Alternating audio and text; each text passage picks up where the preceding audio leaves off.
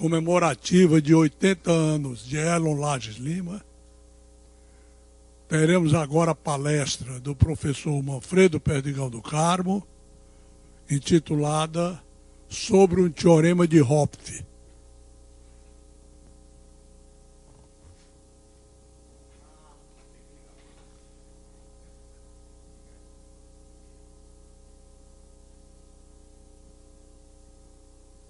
Se ouvindo bem? Tá? Ok. Tá. Bom, uh, o Elo e eu temos um entusiasmo muito grande por um matemático chamado Heinz Hopf, que é uh, não só pela profundidade dos trabalhos que ele escreve, mas pelo fato de a apresentação que ele faz dos seus trabalhos é extremamente elegante. Talvez o Heinz Hopf seja o melhor escritor de matemática que eu conheço. Seguido pelo Milno, mas no segundo lugar um pouco longe. Né? Bom, então achei que era apropriado falar um pouco sobre algumas coisas que o Hilário, o Renato e eu estamos fazendo sobre o Teorema de Hopf. Então, deixe-me começar. Em 1951,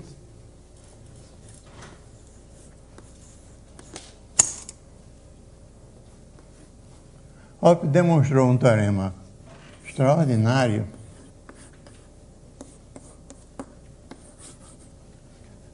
e dizia o seguinte: se você tomar uma superfície imersa em R3, suponha que ela seja, essa superfície seja homeomorfa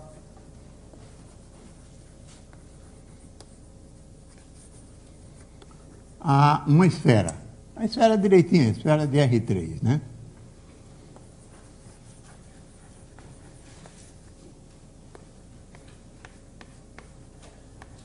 Esfera redondinha. Suponha que ela seja homeomorfa a essa esfera. E além disso, suponha, primeira condição, suponha além disso que a curvatura média da superfície seja constante. Para sua informação, a curvatura média é a média de todas as curvaturas que você tomar. É um invariante muito fraco. Para cada ponto P e cada vetor V unitário,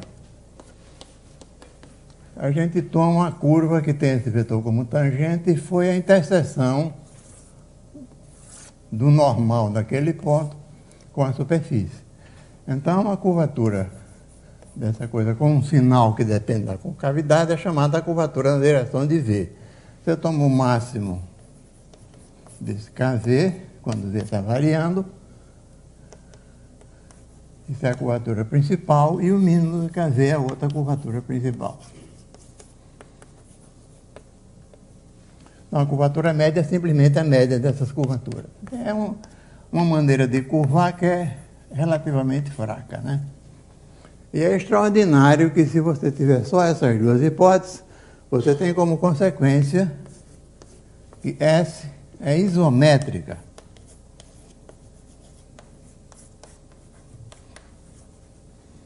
a essa esfera.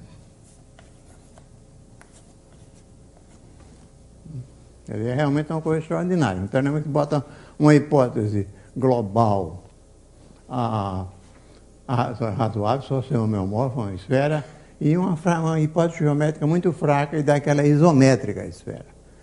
Esse teorema foi um divisor de águas no estudo da curvatura média constante, diferente de zero. E a curvatura média constante igual a zero, que são as superfícies mínimas, já viviam numa companhia ilustre.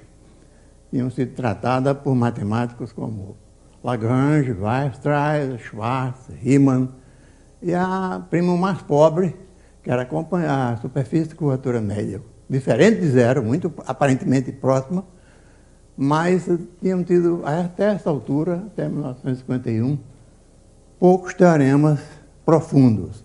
A superfície mínima é cheia de teoremas extraordinários. Né? A, mas a curvatura média constante não tinha isso. Esse, esse teorema do Hopf marca o início do estudo da superfície de curvatura média constante, diferente de zero. Por que, é que, por que, é que ele é tão importante? Bom, duas razões.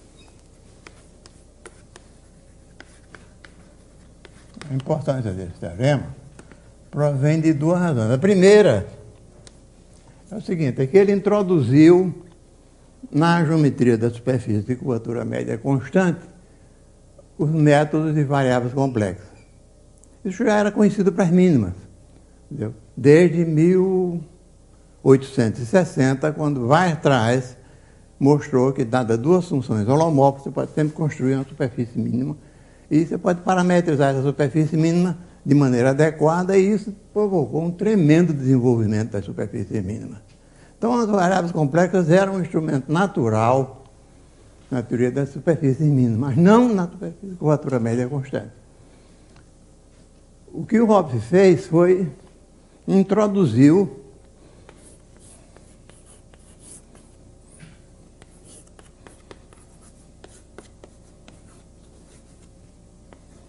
Quer dizer, a primeira são os, é o método de prova, né? O método que ele introduziu. Ele introduziu uma forma quadrática complexa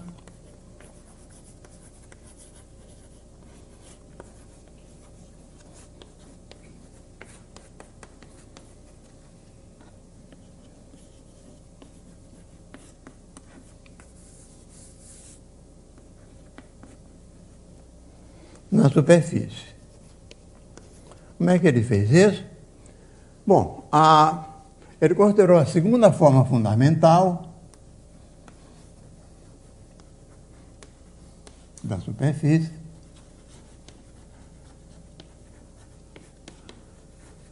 Ele pode escrever alfa como E du2 mais 2F du dv mais V dv2. O e V são parâmetros quaisquer da superfície e são funções, portanto, definidas na superfície. Faz sentido falar em suas diferenciais. Desculpe.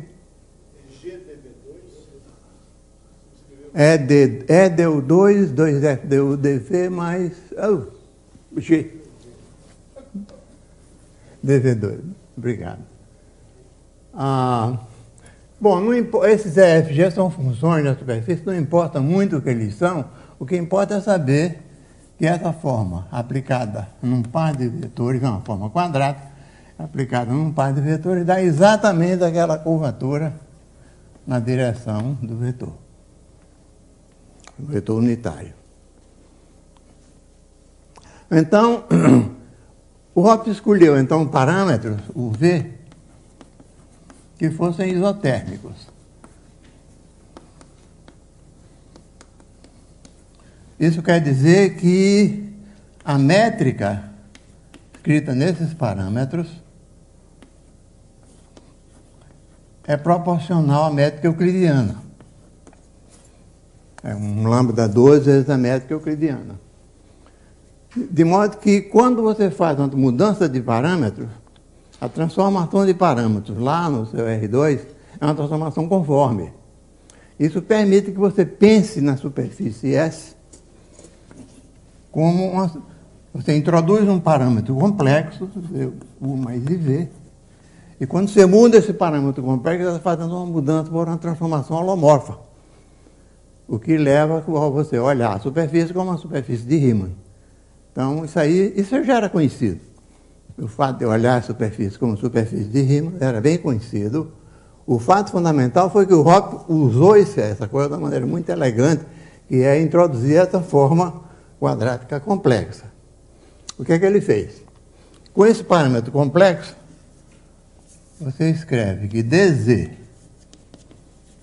igual a du mais idv, du mais idv são formas diferenciais lineares, então tem sentido falar nessa forma dz, como tem sentido falar na forma dz barra, que é du menos idv.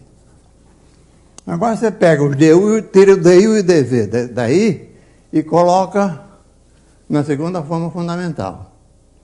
Então, depois de fazer um certo número de contas, você obtém que a forma alfa se escreve como uma certa função dz ao quadrado mais dz, dz barra mais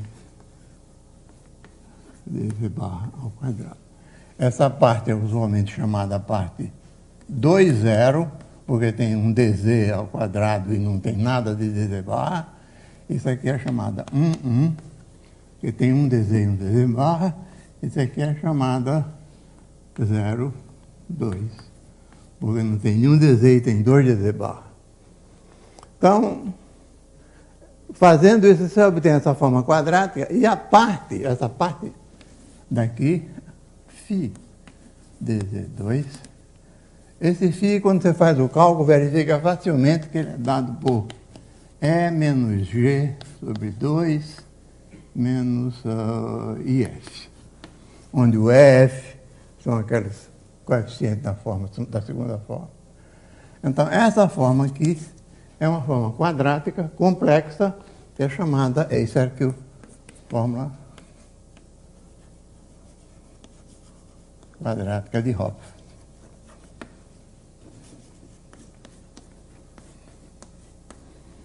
E o Hopf mostrou que ela tinha propriedades que era uma linda forma, né? Quer dizer, tinha um bocado de coisa bonita em relação a essa forma. Primeiro, propriedade dessa fórmula, essa forma. Primeira, para a gente poder ter alguma utilização para ela, ela é globalmente definida. Vou chamar isso de alfa 2,0. A parte 2,0 da complexificação de alfa. Então, alfa 2,0 é globalmente definida.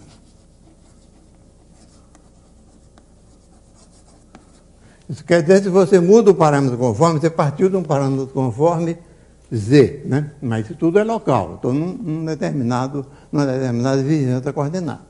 Mas eu pego, tenho o meu parâmetro conforme Z,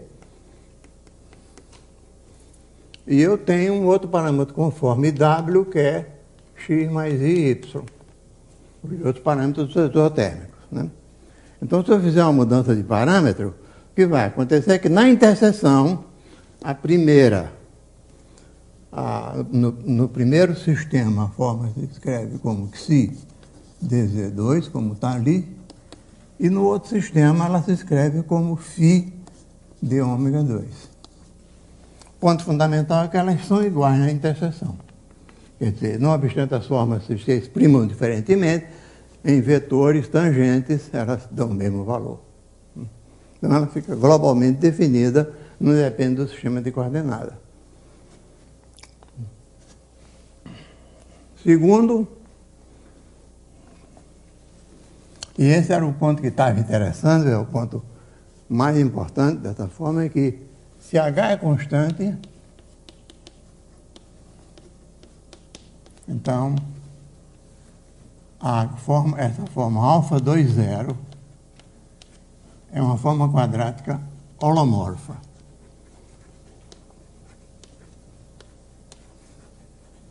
Isso quer dizer que a função φ, aquela função xi, né, que nós colocamos ali, que é, é uma função holomorfa.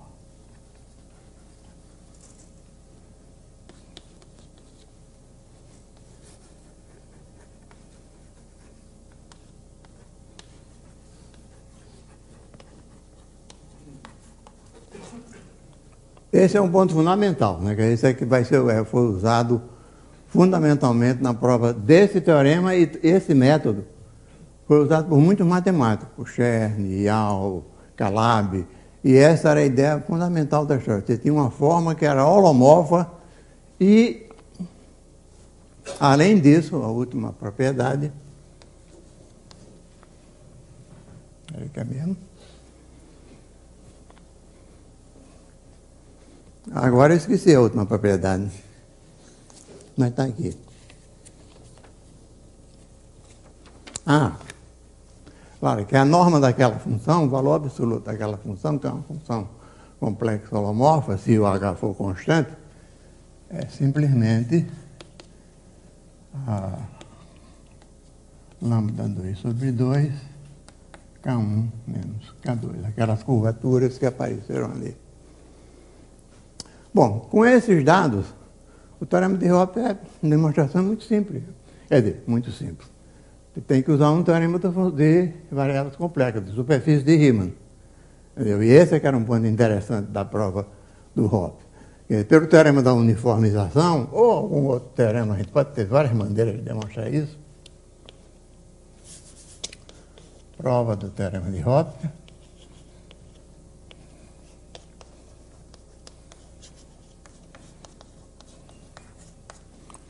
Assim, pelo teorema da uniformização, toda vez que você tem uma forma quadrática holomorfa numa esfera, até aquela Q20,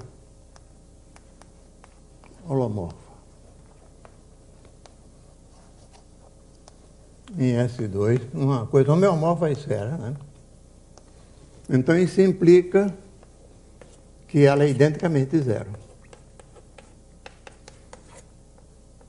Isso pode sair do de Riemann-Rohr, pode sair usando a uniformização e fazendo uns cálculos.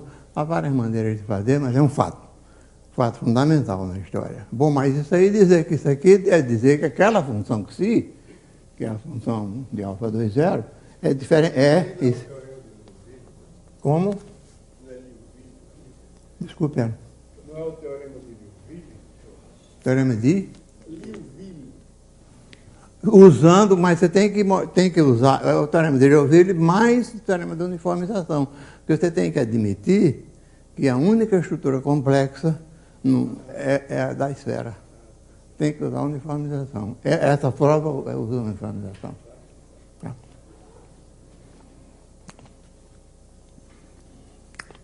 Então isso aí implica que aquela função é identicamente zero, que é a mesma coisa que dizer que o K1 é identicamente igual ao K2 por toda parte.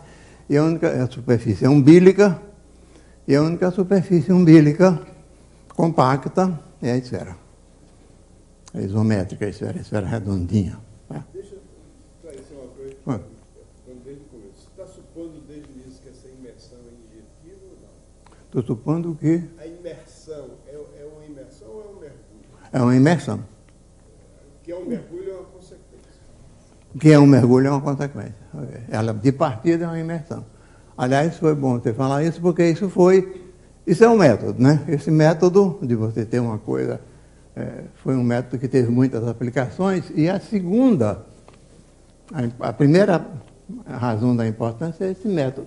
E a segunda razão foram as questões que foram levantadas desse teorema. E uma questão é exatamente saber se ele se aplica para outras superfícies compactas com imersões. Em verdade, que ele se aplica para outras superfícies como mergulho foi provado pelo Alexandrov. E a, o teorema de Hoppe é verdade para mergulhos de qualquer, qualquer superfície mergulhada que tiver curvatura média, constante e compacta, é esfera mais imersa. O problema ficou durante muito tempo a chamada conjectura de Hoppe. Em verdade, o Hoppe nunca conjecturou isso, Hoppe perguntou. é outra coisa. Né? Ele não tem nenhuma razão para achar que isso era verdade. E, de fato, era falso.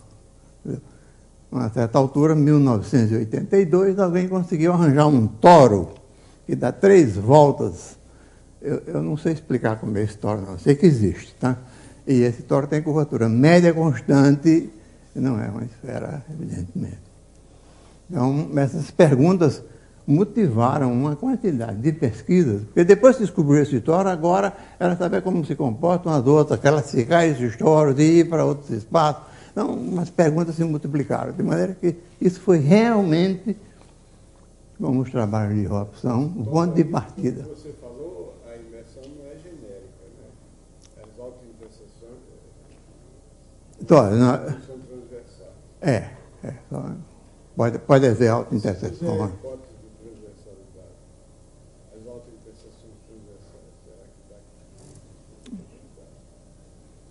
Não sei. Não sei. Deixa para depois. Deixa para depois. ok. Então,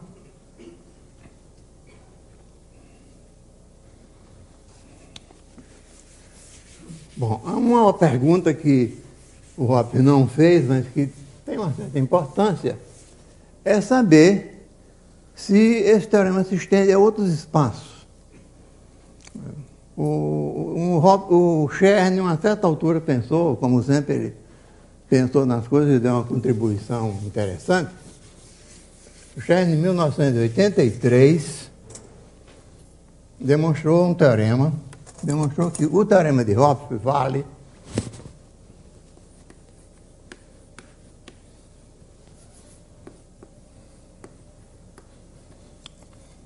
Mas vale na seguinte, na seguinte afirmação, quer dizer, você tem um S3, a homeomorfa esfera, um S2 homeomorfo a esfera, curvatura média constante, isso num espaço ambiente Q3, C Quer dizer, um espaço-ambiente de curvatura seccional constante. Mas nesse caso, a resposta não pode ser uma esfera, porque você tem espaço hiperbólico, onde tem muitas coisas. Você provou só pela prova, as coisas são umbilicas. Mas tem muito mais umbilico no espaço hiperbólico do que no espaço. Então, o que o Chern provou foi só isso, que esse negócio aqui, em que C3, isso aqui, dentro aqui, então isso implica que esse é umbilico. Em verdade, o espaço não precisa ter, ser simplesmente um anexo. Pode ter um recobrimento, por exemplo, pode ter um recobrimento do R3. Eu, em verdade, acho que ficaram muitas coisas em aberto que jamais, esse trabalho do Cher nunca foi explorado. Me parece que uma pergunta curiosa, por exemplo, seria a seguinte: considere o toro de dimensão 3. Eu acho um problema aí, para, de qualquer maneira, vocês se divertirem. Já tem esse duelo, agora tem mais um aqui. Viu? Pegue o toro,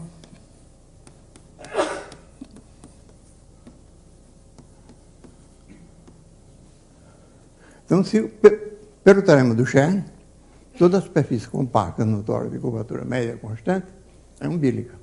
Agora, quais são as superfícies umbilicas desse espaço? Tem a menor ideia. Então, seria um, uma coisa interessante saber se sequer existem. Existem espaços que não têm superfícies umbilicas. Né? Esse espaço eu não sei se ele tem ou não. Então, se ele não tem, ou tem, é sempre uma resposta. Se ele tiver, aquela é só uma resposta do teorema. Se ele não tiver, é um, é um negócio interessante, que não existe, que uma esfera não pode ser mergulhada, não pode ser imersa nesse espaço, com curvatura média constante. Porque se fosse, seria umbilica, e umbilica não existe. De maneira que isso é um problema que vale a pena pensar um pouco nele. Bom, mas depois do Chern, em 1983, a curva ficou, essa situação externa ficou muito parada, né?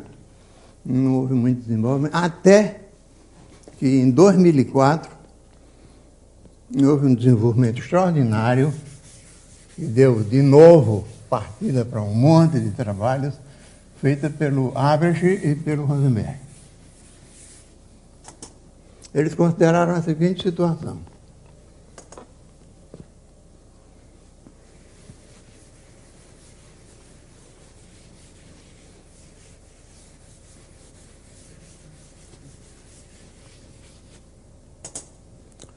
Então, Lopes Rosenberg estavam ah, olhando para os outros espaços ambientes, que eram o seguinte: considere uma superfície, sigma, ah, bom, também, é, bom, eu quero imersa em, no seguinte espaço: M2C vezes R, onde C é diferente de zero, M2C é uma superfície de curvatura constante C, o caso canônico, simplesmente conexa e ah, completa. Quer dizer, ou é o S2, ou é a esfera, ou é o espaço hiperbólico. Então, considere as superfícies imersas aí e ah, considere a seguinte forma quadrática, que eu vou dar a primeira forma real dela, que é aplicada para de vetores tangentes x, y vetores tangentes né, da superfície. Então, isso aqui seria duas vezes h, a curvatura média, alfa de xy menos c cx cy, onde xi aqui, alfa é a segunda forma fundamental e xi é um vetor unitário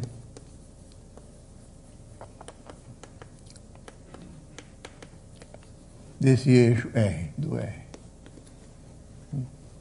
Considere essa forma, essa, a ideia do Albert Vandenberg foi a forma do, do estava realmente esgotada, mas não as, suas, não as suas propriedades fundamentais.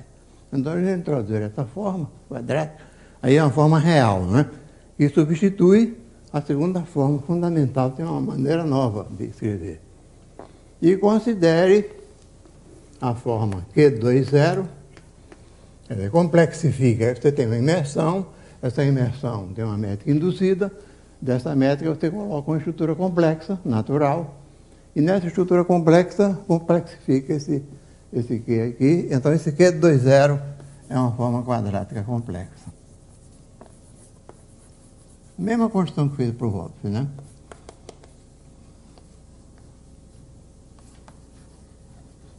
E acontece um fato bastante interessante, que é se teorema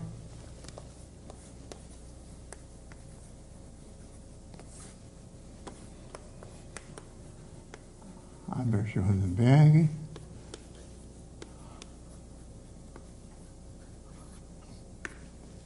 dois mil e quatro foi publicado no ARC da Matemática.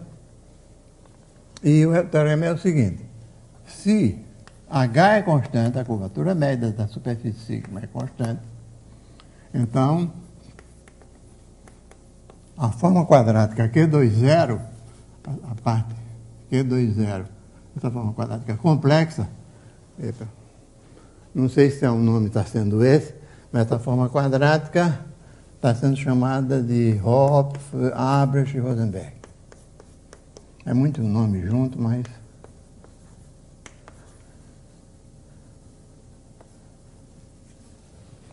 Então, essa forma quadrática é o Lobov.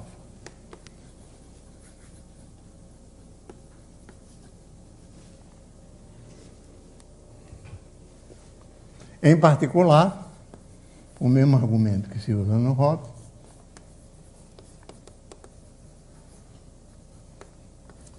Se sigma é o meomorfo a uma esfera,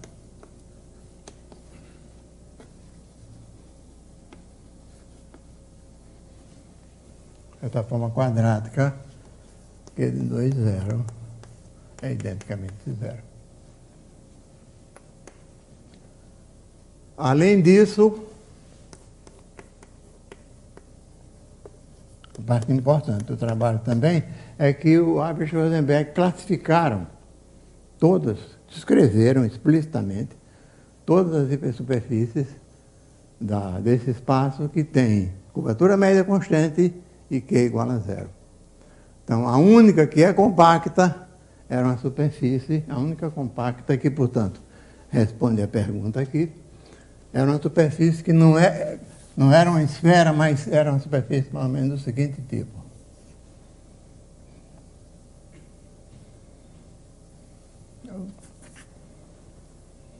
Bom, isso era supostamente para ser, suposto para ser simétrico. Era uma superfície.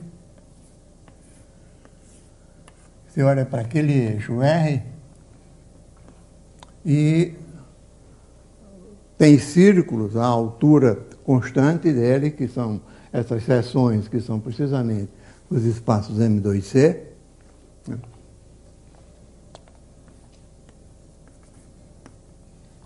Então você vai ter esses círculos e ela tem uma forma. É uma superfície de revolução, eh, rotações que deixam a parte, que deixam o espaço M2C rotações daquele espaço M2C que deixam o eixo R fixo.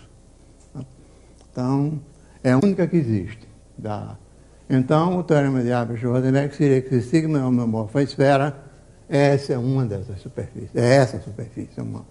A superfície já tinham aparecido, um trabalho do Chang e do Renato Pedrosa, com Manuel Vitoré, mas elas foram descritas explicitamente, em detalhe, nesse trabalho do, do Albert Rosenberg.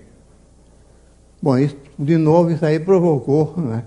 as coisas de Hoppe têm essa qualidade de ressurgem das cinzas, né? e provocou de novo um monte de trabalho né, sobre essa forma do teorema de Hoppe.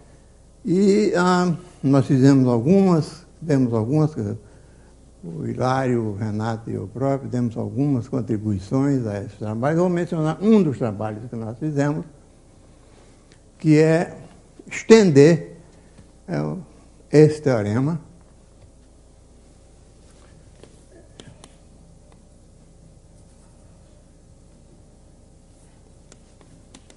extensão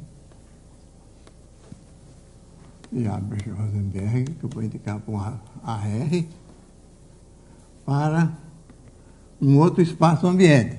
Em vez de tomar, tomamos agora MN, de curvatura constante, vezes R, e colocamos uma superfície aqui dentro.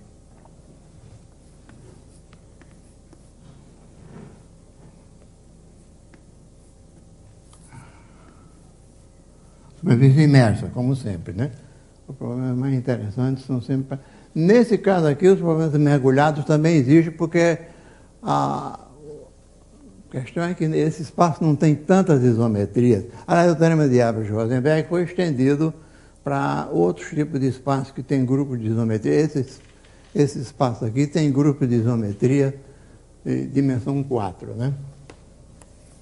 E tem, um, tem outros espaços simplesmente conexos com grupo de isometria de dimensão 4, para qual também é possível estender o teorema de, de Hoppe na forma do Albert-Rosenberg, ah, simplesmente adaptando um pouco ali a, a, a forma de, a forma de Hoppe, Albert-Rosenberg. Eu não quero entrar nisso. Não, não vai dar tempo de eu falar o que eu quero. Bom, então,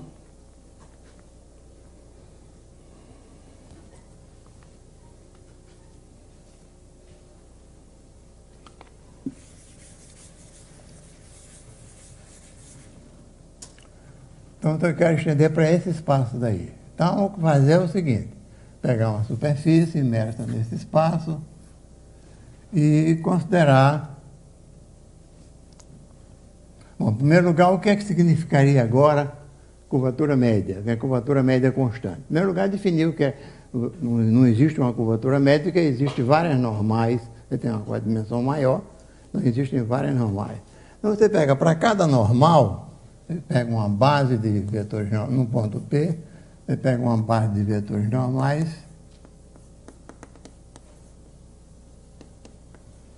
E você pega para cada direção normal, faz aquela conjunção e tem uma curvatura média H alfa. Multiplica isso pelo E alfa, soma isso aqui de alfa de 3 Tn mais 1, e você tem um vetor que é chamado vetor curvatura média.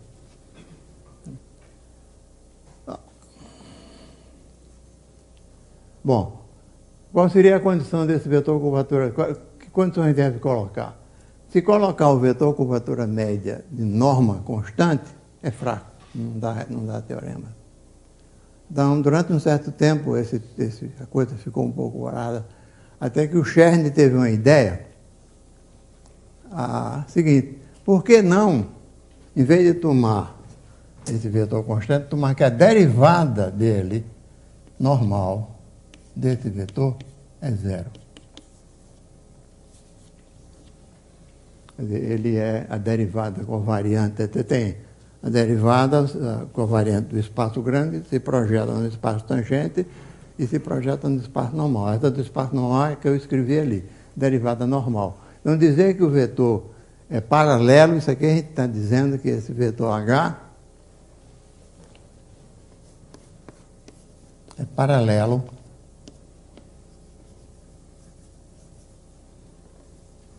na conexão normal. Então, essa se revelou uma condição realmente frutífera. Um monte de resultados começaram a aparecer. É um, um toque, né? Um toque, como sempre. Não depende da base, é verdade. Não depende da base.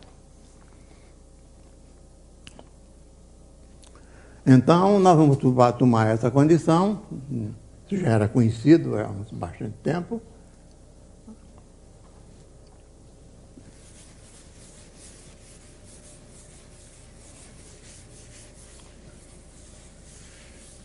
Aí tomamos uma forma quadrática,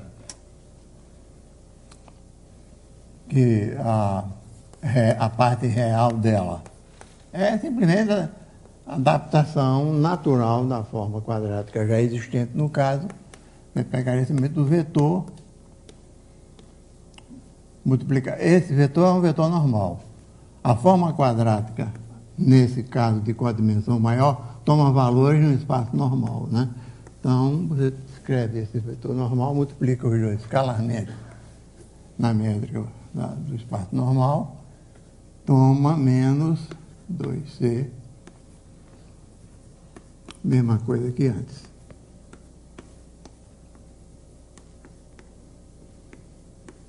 Bom, então o teorema que se demonstra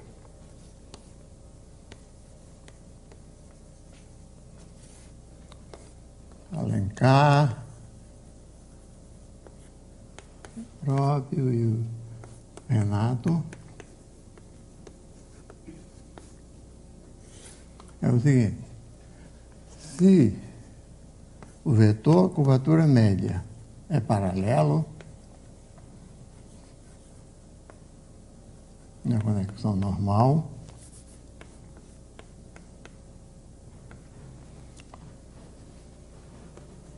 a, a forma quadrática complexa.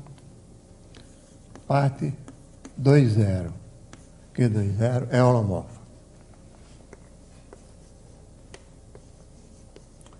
É uma conta um pouquinho maior do que a conta do feita, mas não é nada de era razoável de esperar. Né? Em particular, de novo,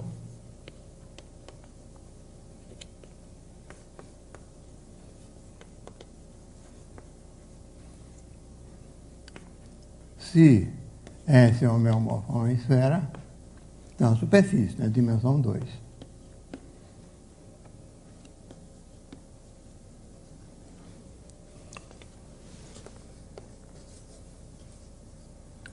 Nossa, porque 2 zero é identicamente zero.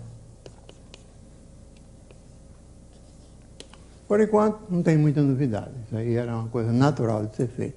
O ponto fundamental é quais são as superfícies que tem esse Q2, que tem essa curvatura média paralela e tem esse Q2 igual a zero nesse espaço maior. Isso é um problema. Pelo menos no caso que eu estou falando aqui, a gente fez vários, considerou várias situações mas essa situação do S ser homomorfo à esfera, a resposta é bem bonitinha, generaliza de uma maneira natural o teorema de Albert-Rosenberg, com uma prova não trivial, e que é a seguinte. Se S é homomorfo à esfera,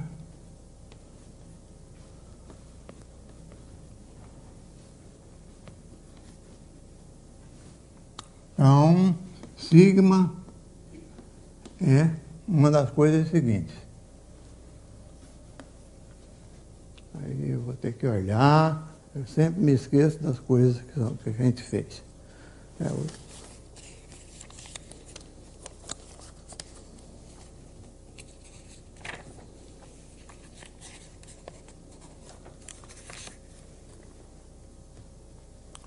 ela pode ter uma superfície mínima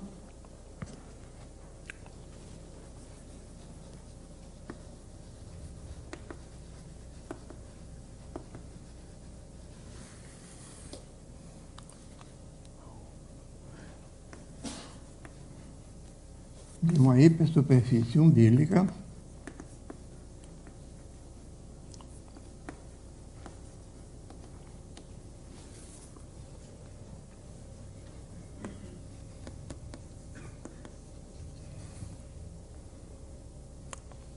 do, do espaço, só daquele espaço MNC. Pode ser também uma esfera canônica.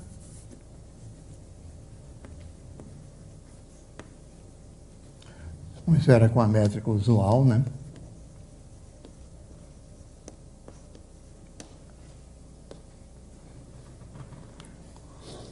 De uma subvariedade umbilica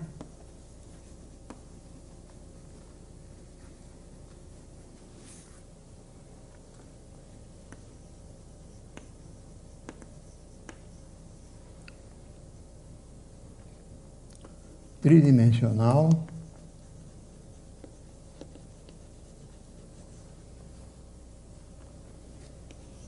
de MNC.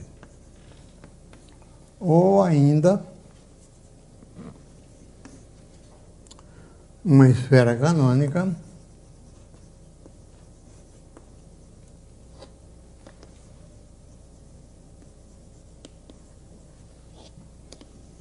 em M3C. E finalmente a parte mais interessante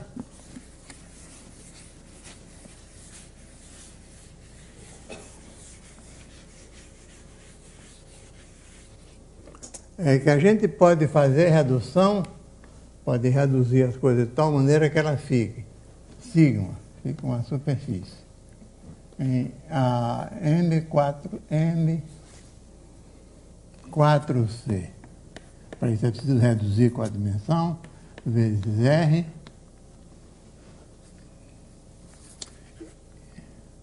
Que está contido em R6, né? Aqui pode ter a métrica riemanniana ou euclidiana métrica riemanniana ou de Lorentz. E existe um plano P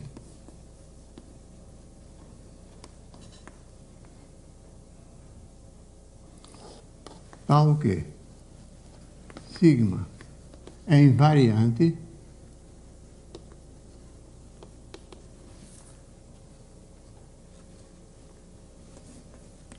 ou rotações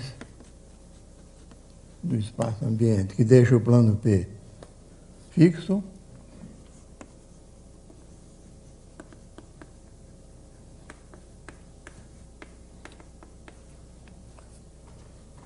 desculpe, que deixam P perto. Deixam o plano P e o perpétuo dele é deixado fixo pelas rotações que deixam signo invariante. Desculpe, por aí é verdade? Variando por rotações que deixam o PP fixo. Ok. Além disso, as curvas de nível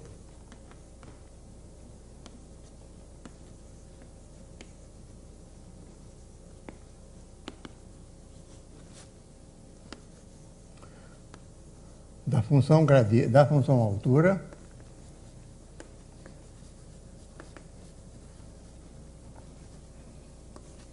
A função que leva o ponto P no vetor P vezes o xi, função altura em relação ao, a esse eixo xi, função altura dessa superfície em relação ao eixo xi.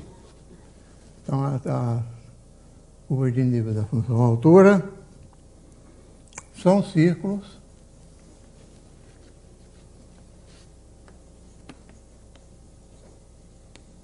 em planos. É um pouco aquela imagem que a gente fez ali, né? Eu acho que apaguei. Paralelos a sigma. Paralelos a P. É como se fosse uma superfície de rotação.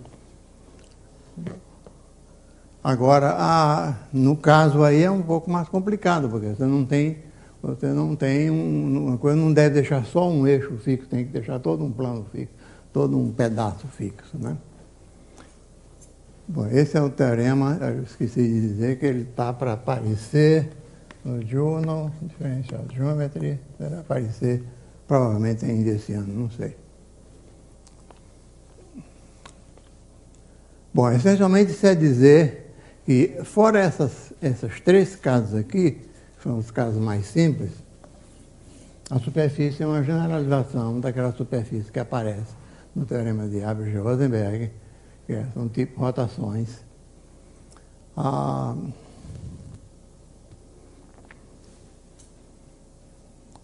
bom, eu acho que mesmo que eu tenha tempo de fazer, dar uma ideia da prova, eu acho que eu não, estou um pouco cansado. Eu acho que eu não conseguiria fazer essa ideia. Eu vou terminar por aqui. Vou deixar que as perguntas apareçam.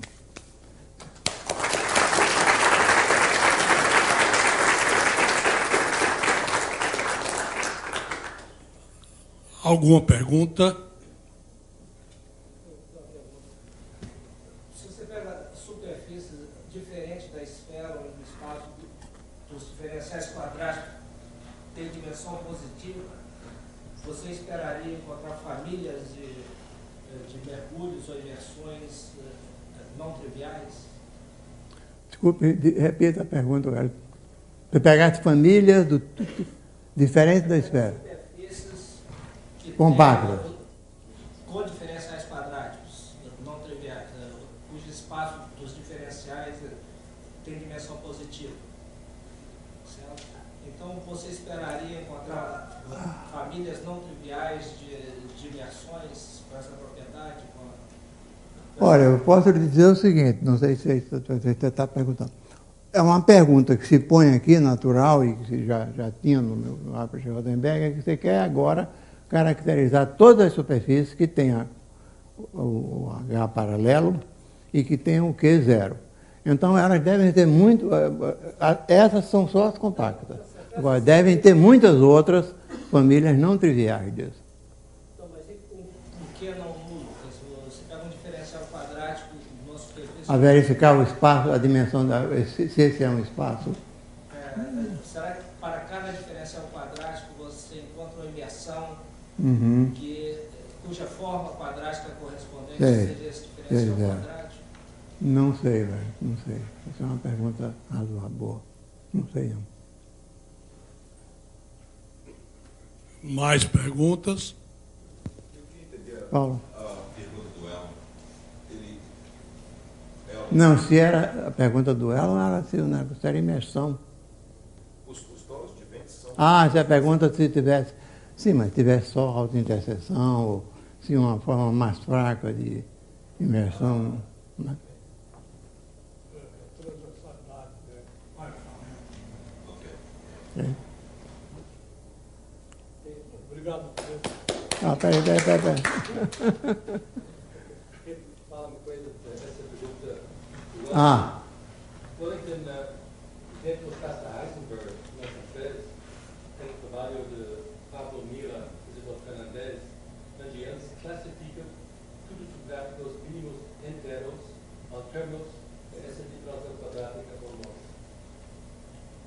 Mas quando a diferença quadrática holomórfica sobre qual complexo C e sobre visibilidade, corresponde a família a dois parâmetros de gráficos inteiros mínimos da Heisenberg. Um exemplo de, de sua pergunta, onde essa quadrática Q corresponde exatamente em família dois parâmetros de funções dessa ok. Isso no, Hei- no espaço de Heisenberg?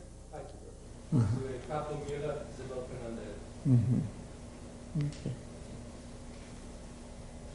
Isso é